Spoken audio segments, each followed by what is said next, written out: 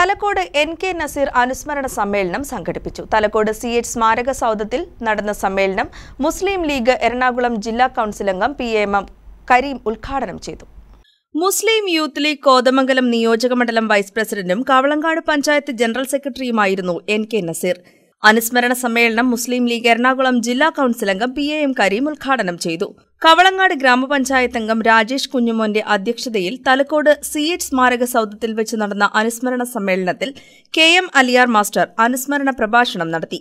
P A Shajahan P M Muhammad Ali A M Basheer P K Shameer Bilal Nasar Amal Fayas Irfan Noushad Safal Naseer Binshad Muhammad Binoy Joy M M Saeed T M Maideen തുടങ്ങിയവർ പങ്കെടുത്തു. News desk K C V news.